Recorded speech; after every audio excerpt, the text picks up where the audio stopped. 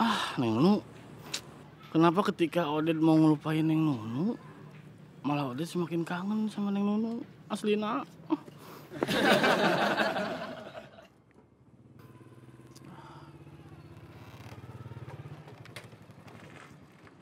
Kak Odet! Oh,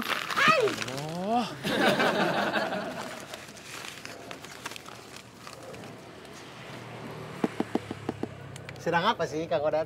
Nggak ngapa-ngapain. Kang Odat, jangan terlalu banyak melamun begitu. Nanti macam saya kambing di kampung sana tuh. Lagi sama sama kambing. Aneh. Kan ininya sudah sama tuh. Me, Sama sih motor saya juga.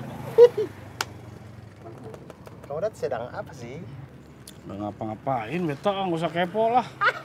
Saya tahu nih, pegang-pegang pulpen begini kan tidak mungkin hujannya panas dong. Masih sedang buat surat untuk Nuna Nurul tercinta ya. Eh, Iya dong. Mana coba surat sini? Kang Odat, sesama sahabat tuh tidak perlu tutup-tutupan begitu.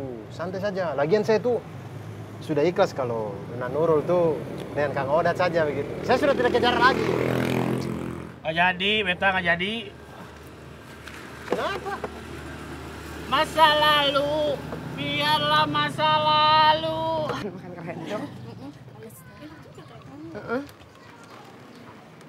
Nona Nurul! Asik.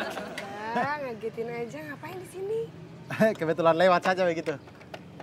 Ah, Nona Nurul sudah ketemu Kang Odat belum? Kang Odet belum sih emang kenapa? Ini saya kebetulan sekali ada titipan dari Kang Odet nih. Untuk Nona Nurul tersayang. Ini surat apa ya, Mas Bella? Yang mana saya tahu Nona Nurul. Surat cinta paling. saya jalan dulu ya. Assalamualaikum. Hulu lulu wala. Ah, yaudah yuk jalan-jalan. Cie, cie, Manurul dapat surat cinta dari Kang Oh, apaan sih? tuh. Enggak. Sini, Kang helmnya. Odet. Banyak ya udah nganterin. Terus em, makasih juga buat suratnya. Surat. Neng Nunu udah terima surat-suratnya? Udah. Aduh, udah jadi malu. Malu. Meow. Menurut saya ya Kang ya, tulisan-tulisan Kang Odet itu bagus banget. Kayak puisi cinta gitu. Nggak nyangka ternyata seorang Kang Odet bisa nulis puisi cinta romantis. Tapi itu itu bukan puisi atau itu mah sepenggal kata-kata gomal, gomil. Ya, apa pun itu sih, tapi saya sih bacanya kayak puisi yang terindah yang pernah saya baca. Oh, saya bacain ya. Saya suka banget.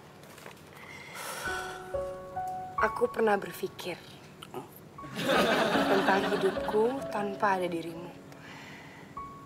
Dapatkah lebih indah dari yang aku jalani sampai kini? Aku selalu bermimpi tentang indah hari tua bersama. Tetap cantik rambut panjangmu, meskipun nanti tak hitam lagi. Bagus banget deh, Kang. Menyentuh gitu rasanya.